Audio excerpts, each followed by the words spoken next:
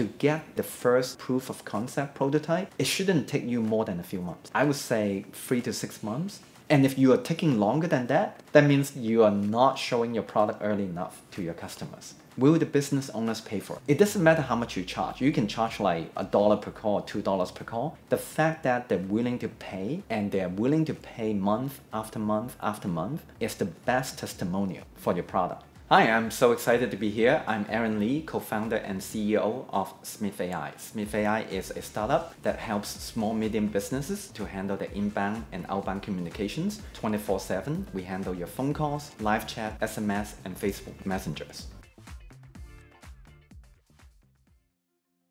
So I joined Google early 2004. I was one of the first two engineers to build Google Videos. Also by that time, YouTube came along, so we were kind of competing. But by the end of 2006, it was clear that YouTube was like taking the internet by storm and the rest was history. So after that, I joined the YouTube team and worked on their monetization. So I worked on AdWords for like video, AdSense for video, and eventually I spent about almost like five years at Google. Google is a very engineering centric company. I mean, back in the days, like when Larry and Sergey and Eric was still kind of the trio running the company, the mantra is let the engineers to explore, give them the flexibility and the freedom. I think both Larry and Sergey are also engineers by training, but they're not business focused. If you probably remember when they pitched to Kleiner Perkins or like Sequoia, they did not have the business model. They said like, let me show you some of the really cool technologies, right? So I was engineer by training, but at the same time, I was also fascinated by the problem products, their user experience, and some of the business model. If you're building a product for like B2B or B2C, you really want to talk to a ton of customers. And even after you build the product or the prototype, you want to talk to them even more because once you put the product in their hands, you will find out a whole new set of problems and the things that they're interested in, and they will never be the problems that you anticipated that they will have. So that part is like very interesting to me. So I kind of like start moving further and further away from engineering to building product. So I said, well, it's time for me to, you know, start my first company. So I left Google 2008, the other two ex-Googlers, right in the month of the financial crisis. And all the VCs were like, no money for you guys. And we said, great, that means we can like keep our heads down, build a product. So by the time we launched our first product, it was a company called Red Beacon. It's a marketplace that connect the homeowners with the home improvement professionals. And we took the top prize in TechCrunch. And because the year prior, there were no funding for the other startups, so we had no competitors. So we went nationwide very quickly back then, finding a reliable professional was really, really difficult. You may go to Yelp or Yellow Pages or Angie's List. It's just really unreliable. You don't know will they be able to do it at the price that you can budget for and what time can they come we believe like we could actually build a much more efficient marketplace where people can go in they can submit the job request they just say okay within 10 15 minutes people say yep i can do your job this is my price range and i can come by next week so we want to make the connection between people having a job like homeowners to the professionals who are looking for projects or jobs much more efficiently and that's not much different than like LinkedIn, right? When they first build up, like they are basically matching opportunities with the job seekers. I think the most challenging part of building Red Beacon is when we have the demand and we don't have the supply, you have to quickly find the supply or the customer will be disappointed. It's almost a race, right? How quickly can you find the most reliable, amazing providers that can meet the need? In the early days, how do we source this kind of like supply side? We source many of the review side. If you think about it, it's almost like a human scraper, right? You go into to Yelp or Angie's List and you look at these profiles and you say, which pros are getting the most consistent positive feedback. And then you just call them up and say, hey, I have a customer that is waiting for you. Would you be interested in signing up? By the way, I can send you the job right now. If you can tell me your email, your phone number, we start building the profile for you. So once you build up that database, then you can do the matching a lot faster and a lot more efficiently. Now, here's the challenge. If you don't have enough supply, then the customer will be disappointed because they said, I submitted the job, I've been waiting for more than a day now, and there's no one interested. This platform is not useful. Now, if you have too much supply, then the business will say, I don't get enough jobs from your platform. Eventually, we figure out one of the magic number is if you can send about four to five jobs, kind of one per week, you can keep the companies or the providers or home improvement professionals engaged. Once they get engaged, they will be excited about your platform. That means whenever someone put a job in, they will respond quickly.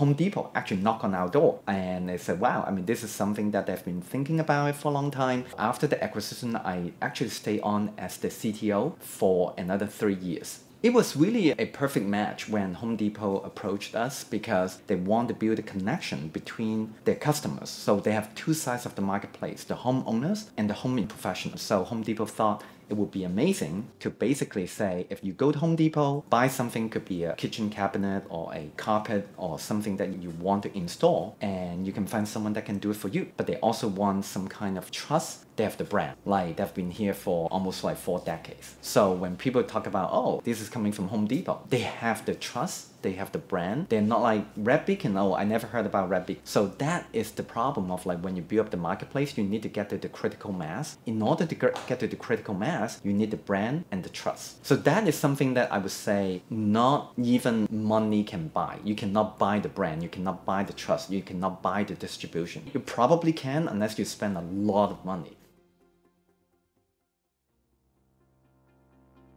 Over the past three years at Home Depot and throughout my career, you keep hearing people say, look, I cannot respond to your lead. I am driving on the road. I am working on this roof. I'm working in the attic. If you think about the transition from Red Beacon to Smith AI, it's very similar, right? I mean, when we send them the leads, we say, hey, I have a job for you. And they will say, oh, I'm just so busy. When we call them, they don't pick up the phone. When we send them an email or text message, they don't reply right away. And that problem is so fundamental to pretty much all the SMB today because they just don't have the time and they don't have the team and they don't even have the IT experts to build a system to do it. So we start building our team uh, using both AI and the human like agents as the fallback. And the goal is to make sure that we can handle every single call that are coming in within a few rings. We're not just about taking a message. We want to qualify the lead.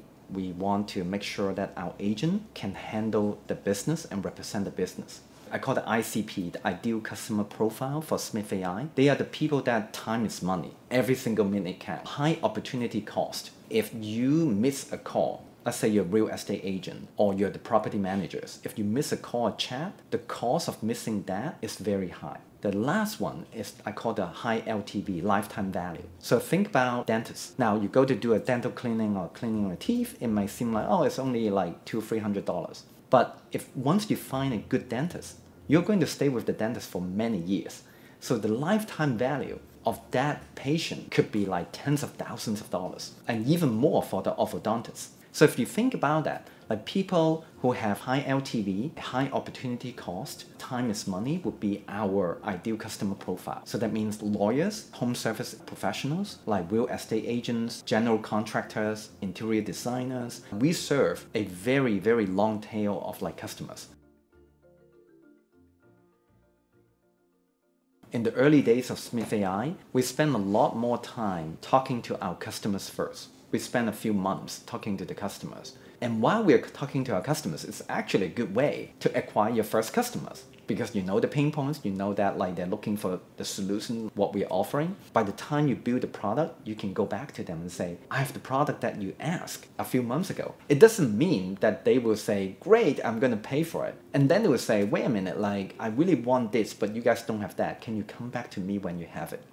But if you look at like from the moment that we know what we need to build to the moment that we launch, I would say three to six months, right? I mean, of course, like we have a lot of bugs to fix, we have a lot of things like to improve, but to get I would say the first proof of concept prototype, it shouldn't take you more than a few months. And if you are taking longer than that, that means you are not showing your product early enough to your customers. So I think one thing that a lot of the founders embarrassed or maybe a, a little bit shy is they don't want to talk about their ideas. They, oh, my idea is not fully baked. I'm re not ready to tell the world. I think the problem is by the time you want to show your product, it's probably too late. You should have gotten the feedback and advice. So we basically early on, we tell people people, hey, we're building this. Would you like to try? And by the way, it's not going to be perfect and I'm probably going to be very embarrassed because the product may or may not work but I would love to get your feedback. So having a thick skin, not feeling embarrassed is the key. From there, you start learning and learning, you start iterating your products.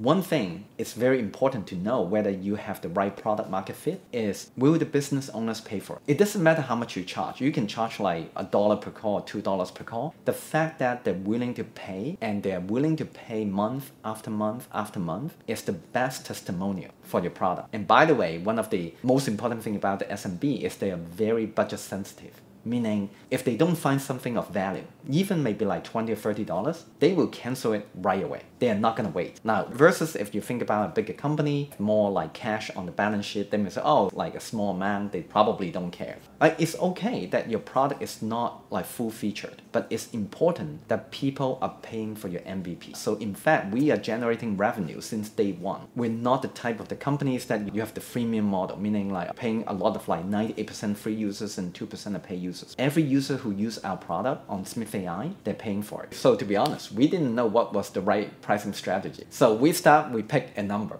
I think in the beginning we were charging people like two dollars per call, and we know that like we were not perfect. We knew that. Then at some point people say, "Okay, wow, this is really good values." When you hear people say this is so cheap, then you know you're a little bit underpriced. Now, at some point, you're charging something a little bit higher, and people will say, wait a minute, like, I don't understand why you guys are charging me this. Like, that should be very little and very cheap. So we adjust our pricing. So every year, we change our pricing based on the values that we deliver. Our goal is if we can absorb some of the cost, we can get more customers, then at the end, like, it's a win-win there are more people who are using our platform, they are paying at a lower rate. So I would say uh, don't get too hung up on coming up with the perfect pricing in the beginning. Your pricing should be proportional to the values that you deliver to the business. It's okay to change your pricing. That's definitely fine.